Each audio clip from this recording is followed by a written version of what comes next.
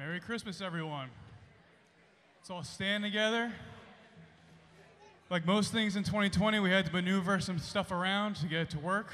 Like every every single holiday so far since was it February, March. But I'm glad to see everyone here. Just like we would be doing outside, the whole theme of this this this service was to just be worshiping our Lord and Savior. So, just like we'd be doing outside, same thing. Let's do it in here. Raise our voices loud, saying to God, let's close out the, the year right. But let me pray, open in prayer, and we'll we'll get going. Lord, we thank you for uh, Lord, we thank you for the opportunity just to be here. Lord, this has been quite a different year from when we met for Christmas 2019. So, Lord, I pray that now we'll be able to set our hearts before you. Lord, we're here for your adoration. We're here for your spirit, your love. Lord, may we just have hearts willing to hear all you want to say. For this all your name. Amen.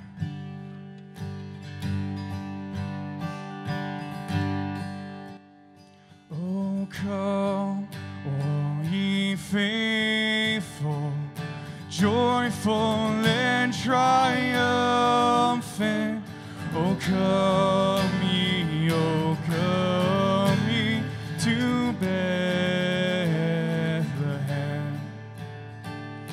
Come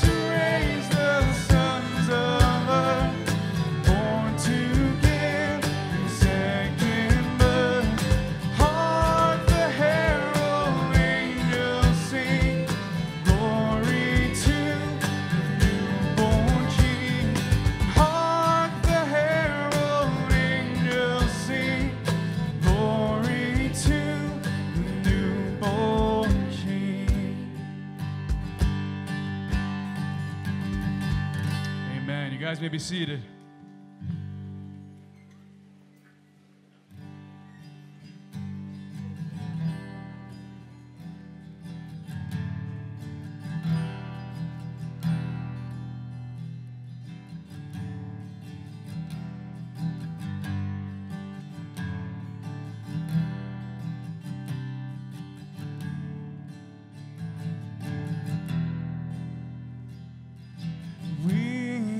kings of Orient are, bearing gifts we traverse afar. Field and fountain, moor and mountain, following yonder star. Singing, we three kings. We three kings of Orient are, bearing so far, Fear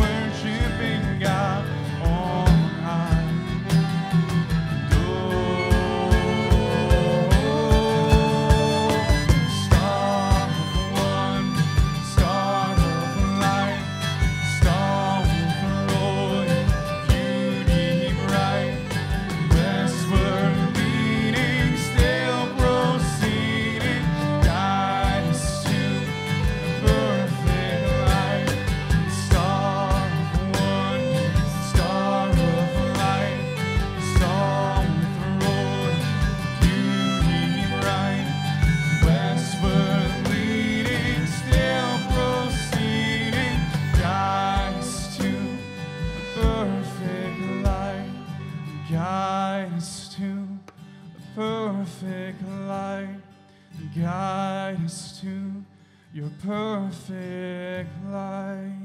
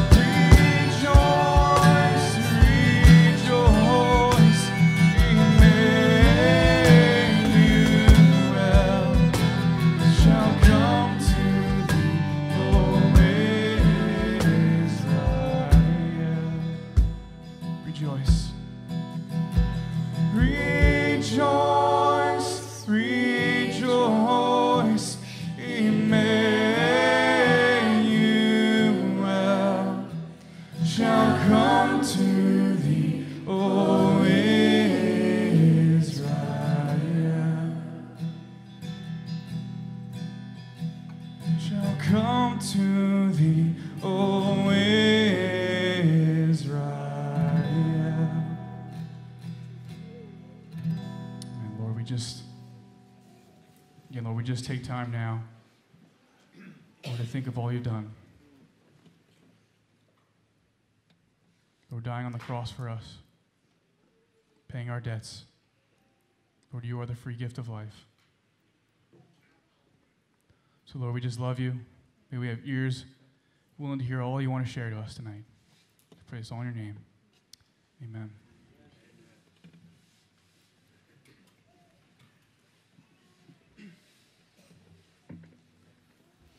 Evening, everybody. We were supposed to be outside. Is it raining? Is it? All right, good. That's, this has been an agonizing year trying to figure out if we're inside, outside, upside down, whatever it is. Merry Christmas. We weren't sure if there'd be five of us or what. We got our what. We're surprised. I'm going to be reading from the Gospels this evening. I'll be in Luke, also be reading from Matthew. You're welcome just simply to listen. You can read these again at home. It's something we usually do each Christmas morning. We read with our family. Just give me a minute and I'll get myself put together. Father, we come before you and we thank you that we can freely gather. It has been a very strange year. We think of the 300 plus thousand people who have died within our country, Lord, those families directly connected to them. That Christmas is different. We think of those, Lord, within the congregation, even this last week, who've lost some loved ones, Lord. That empty space. I thank you, Lord, if we have received your Son by faith, we have the hope that there is a life to come. That to be absent from our bodies as believers in Jesus is to be present with the Lord. And these things were all made possible because in the fullness of time you sent forth your Son, made of a woman, made like unto sinful flesh, yet he himself without sin, so he could pay for each of us. And so we gather here, Lord, Christmas Eve to thank you. And to remember, Lord, you have gifted us the opportunity to be forgiven no matter what we've done, to be right with you, and to finally experience peace and joy, and most importantly, Lord, in our soul, satisfaction that comes from God. So please bless this time as we remember what you've done for us in Jesus' name. Amen. Luke chapter 1, verse 26, if you want to follow along, it says, And in the sixth month, there's more to the story, but you can read that at home. In the sixth month, the angel Gabriel was sent from God into a city of Galilee named Nazareth to a virgin espoused to a man whose name was Joseph of the house of David.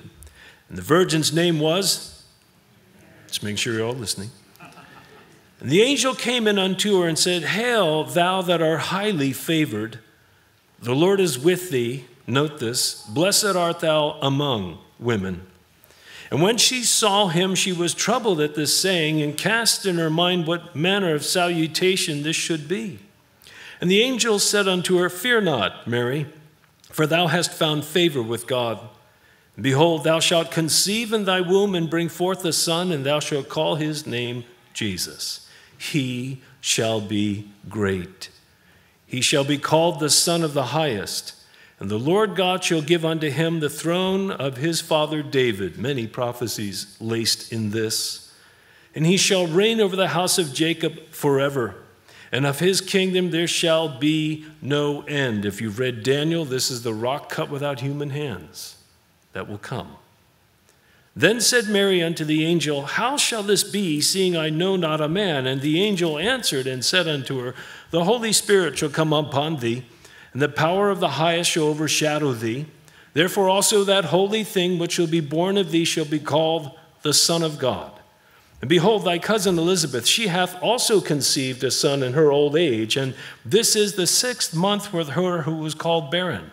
For with God nothing shall be impossible.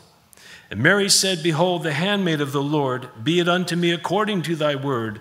And the angel departed from her. I'll be reading now from Matthew chapter 1. It tells us in chapter 1, verse 18, following this thread along Now the birth of Jesus Christ was on this wise. When as his mother Mary was espoused to Joseph, before they came together, she was found with child of the Holy Spirit. And then Joseph, her husband, being a just man and not willing to make her a public example, was minded to put her away privily. But while he thought on these things, behold, the angel of the Lord appeared unto him in a dream, saying, Joseph, thou son of David, fear not to take unto thee Mary thy wife, for that which is conceived in her is of the Holy Spirit. And she shall bring forth a son, and thou shalt call his name Jesus for he shall save his people from their sins. Now, all this was done that it might be fulfilled, which was spoken by or of the Lord by the prophet, saying, Behold, a virgin shall be with child, some 760 or so years before it happened.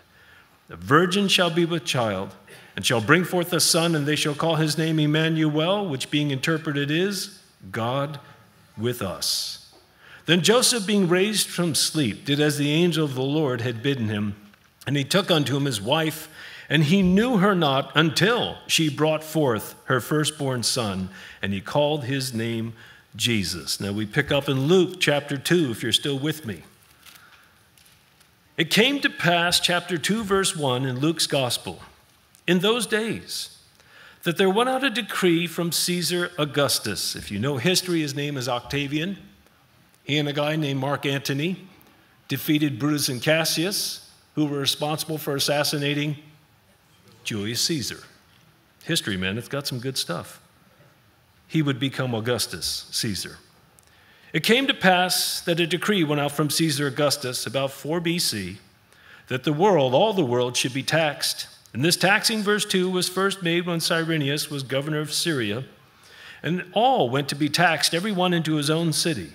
And Joseph also went up from Galilee, out of the city of Nazareth, into Judea, unto the city of David, which is called Bethlehem, because he was of the house and lineage of David, to be taxed with Mary, his espoused wife, being great with child. And so it was that while they were there, the days were accomplished that she should be delivered. And she brought forth her firstborn son and wrapped him in swaddling clothes and laid him in a manger because there was no room for them in the inn. How many noticed the little link on the website about Bethlehem we put up? Oh. Coming out of a solid ministry in Israel, they have actually looked at as they get more history. It's amazing when Jews become believers in Christ because they take all the tradition they have and they begin to dig into the Gospels and it becomes quite rich. So, on the main page, I believe it's there, Stephen, is it on the main page? We'll find out. But on the main page is an amazing or just very interesting detail about where in Bethlehem, who are these shepherds, what does it mean, but I won't spoil it. You have to go look at it. It's about seven minutes long, it's worth it. She brought forth her firstborn son, wrapped him in swaddling clothes, and laid him in a manger, because there was no room for them in the inn. And so, verse 8, Luke 2, and there was in the same country shepherds abiding in the field, keeping watch over their flock by night. And lo, the angel of the Lord came upon them, and the glory of the Lord shone round about them, and they were sore afraid. And the angel said unto them, Fear not, for behold, I bring you good tidings of great joy, which shall be to all people. For unto you is born this day in the city of David a Savior, which is the Messiah or Christ, the Lord. And this shall be a sign unto you. You shall find the babe wrapped in swaddling clothes, lying in a manger. And suddenly there was with the angel a multitude of the heavenly host praising God and saying, Glory to God in the highest, and on earth peace and goodwill toward men. And it came to pass as the angels were gone away from them into heaven, the shepherds said one to another, Let us now go even unto Bethlehem and see this thing which is come to pass, which the Lord hath made known unto us. And they came with haste and found Mary and Joseph and the babe lying in a manger. And when they had seen it, they made known abroad the saying which was told them concerning this child. And all they that heard it wondered at those things which were told them by the shepherds. But Mary kept all these things and pondered them in her heart. And the shepherds returned, glorifying and praising God for all the things that they had heard and seen as it was told unto them. Now, if you're still with me, back to Matthew 2. Now, when Jesus was born in Bethlehem of Judea, the days of Herod the king. Behold, there came wise men from the east to Jerusalem, saying, Where is he that is born king of the Jews? For we have seen his star in the east, prophesied almost 1,500 years before Jesus was born. We have seen his star in the east and are come to worship him. And when Herod the king had heard these things, he was troubled, and all Jerusalem with him. And when he had gathered the chief priests and the scribes of the people together, he demanded of them where the Messiah, the Christ, should be born. And they said unto him, In Bethlehem of Judea, for thus it is written by the prophet 700 years before it happened. And you, Bethlehem, in the land of Judah, are not the least among the princes of Judah, for out of thee shall come a governor that shall rule my people Israel. And so then Herod, when he had privily called the wise men, inquired of them diligently what time the star appeared. And he sent them to Bethlehem and said, Go and search diligently for the young child. And when you have found him, bring me word again that I may come and worship him also. When they had heard the king, they departed, and lo, the star which they had seen in the east went before them. We have an interesting alignment of Saturn and Jupiter, I believe. Too bad we've had clouds. But just because you can't see it doesn't mean it's not there. Not sure if this is the same star, but interestingly enough, we have it now in our heavens. The star which they saw in the east, verse 9, lo, it came and it went till it came and stood over where the young child was. And when they saw the star, they rejoiced with exceeding great joy. And when they were come into the house, they saw the young child with Mary his mother and fell down and worshiped him. And when they had opened their treasures, they presented unto him gifts gold, and frankincense, and myrrh. And being warned of God in a dream that they should not return to Herod, they departed into their own country another way. So, what are you telling us, Pastor? Well, I'll be happy to tell you. Isaiah, almost 800 years before these things happened, said it this way in chapter 9. He said, For unto us a child is born, unto us a son is given and the government shall be upon his shoulder. And that government that he will establish will come in the last days when Israel's back in the land, when knowledge greatly increases, when people travel to and fro, and last year 1.5 billion people traveled, more than the world's population at the time that prophecy was made. When there's a desire for peace in the Middle East, when there are strange famines, which we have with locusts throughout South Africa and throughout Africa, and also even into Argentina and into, uh, into Italy, of all things, from locusts. Pestilences, why is there a row skip between you? Earthquakes in diverse places, including in the last few days, Antarctica, which is unusual. Wars, we have them. Rumors of wars. We said we ran a nuclear sub through the Strait of Hormuz out of the water this week to let Iran know we don't want any trouble. Israel sent a nuclear sub through the Suez Canal exposed so it could be seen this week to send the same message. At a time when it will be a time of global upheaval, a time where the world desires to have a united government, united currency, a time when there's a falling away within the church, in the time of these things, there will suddenly be the return of Jesus Christ. May I heartfelt, honestly tell you, out of all the generations of the church, you are seeing more things coming to pass, even within this last year, than many generations saw for decades, if not even sometimes even centuries. We are living in very interesting times. The return of Jesus Christ is a promise that he made to us, that this same Jesus who ascended from the Mount of Olives will in like manner return when he returns, he will establish his kingdom, which has been prophesied for hundreds of years. That kingdom will have no end. His rule and his reign will be righteous, and it is for those who have put their trust in him. So, unto us a child is born, unto us a son is given. The government shall be upon his shoulder. His name shall be called Wonderful, Counselor, the Mighty God, the Everlasting Father, the Prince of Peace, which is something our world needs. Of the increase of his government and peace there shall be no end, and upon the throne of David and upon his kingdom to order it and to establish it with judgment and with justice from henceforth even forever. And the zeal of the Lord of hosts will perform this. We are living in interesting times. Now it's Christmas Eve. Kids, how many of you are excited? Put your hands up. Parents, how many of you are excited? Put your hands up. We're giving gifts to imitate what God has done for us. I won't ask you how many of you have told a lie, because if you don't raise your hand, you just lied. I won't ask you how many of you have stolen something. I won't ask you how many of you might have used the Lord's name in an improper way as a curse word rather than a blessing. But just from those three, we are blaspheming, thieving liars. All have sinned, all fall short of the glory of God. All of us know in our heart of hearts we deserve to be judged. And God would be just in bringing that judgment swiftly. But He loves each of us so much, and as we've been going through the book of Revelation on Sunday morning, the treasure to God in His holy city is not the walls, which are gold, and the streets and other things that are otherworldly to us now in this world, but the souls.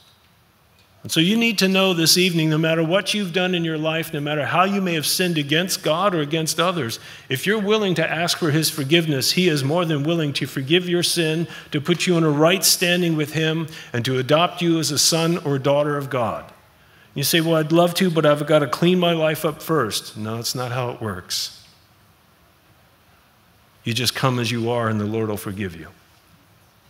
And so, as you're gathered here, maybe you've been dragged out to church by your family members, and you're thinking, How long is this guy going to go? And where the kids are going to sing? And well, it's been a different year. Know this if you were the only one on earth, he would still come and die for you. God created you for a relationship with him. And until you come to that understanding and enter into a relationship with him by faith, you are incomplete.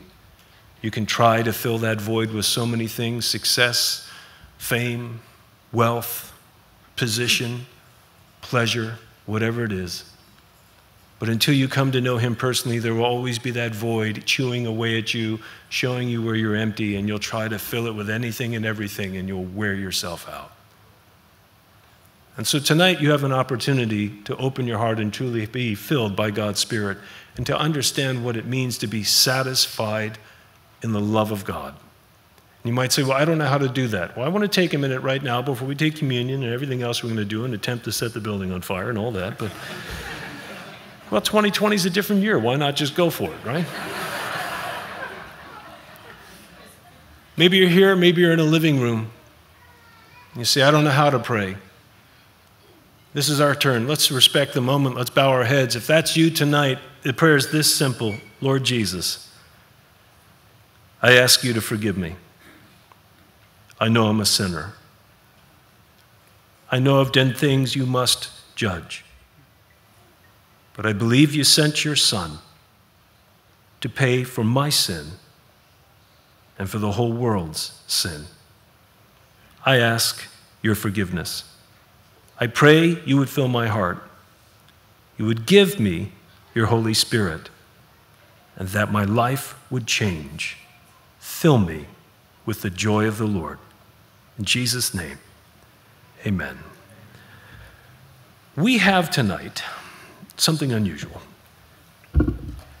communion ready to eat. Now, this is important, or you're going to be wearing it. I have not tasted this, so I don't know what we're getting. But there are two tabs to pull. The top tab is clear, should look like that, clear, and that will get you to this bread. How many have gotten to stage step one successfully? How many are into their juice? Be honest. Well, why not make the whole year strange, right? How many are ready? If you're ready, put your bread in the air. For you parents, we're really sorry.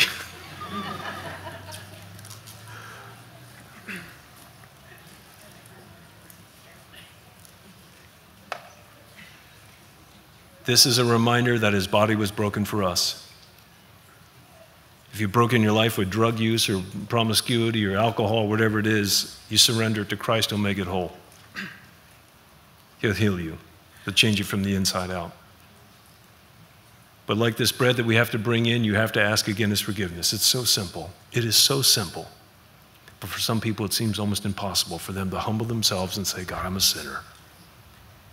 As a person who's done quite a few things that are extremely wrong, and if you've been with us a while, you know that. Best day of my life, number one, is when I asked Christ to forgive me. Second best day of my life is when I got married to my wife. And then I had 11 other best days, but I think you guys know why. Let's remember the Lord who died for us. And let's pray for a better year in 2021. Father, thank you for this time. Thank you that we can remember your broken body of your Son that you sent to take our place. Thank you, Lord, that He loved us enough to endure all these things, to live a perfect life, to go through judgment, to be tested, and to come forth, Lord, pure as gold. Thank you for sending Jesus, who could do for us what we could not do for ourselves be right with God. Thank you, Lord. Let's take the bread. In Jesus' name, amen.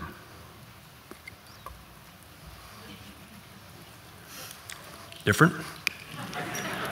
You know you're thinking it. How many would like to get back to matzah? We're going to try and do that in 21, 2021 too. Now, your second order of operation here is to pull the tab of the second layer to try to not wear it upon your person. Now, look around the room again. When everybody's kind of ready, put a few fingers up. Everybody's kind of ready. I'm sorry this is so laborious, but you're only dealing with your own germs. Let's worship the Lord. Father, we thank you again because, as the wonderful hymn says, what can wash away my sin? Church? Nothing but the blood. Without the shedding of blood, there is no remission of sin according to your law.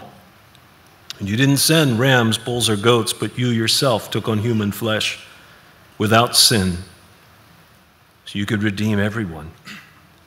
This cup is the reminder of the new covenant, the New Testament that has been made through the blood of God's own Son.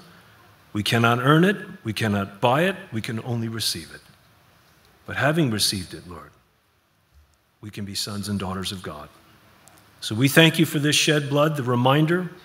You have told us you will not drink again the fruit of the vine until we drink it with you in your Father's house, in his kingdom. And so, even so, Lord Jesus, with all the strange things this year, come quickly. The Spirit and the bride say, Come, Lord Jesus. Let's take communion together.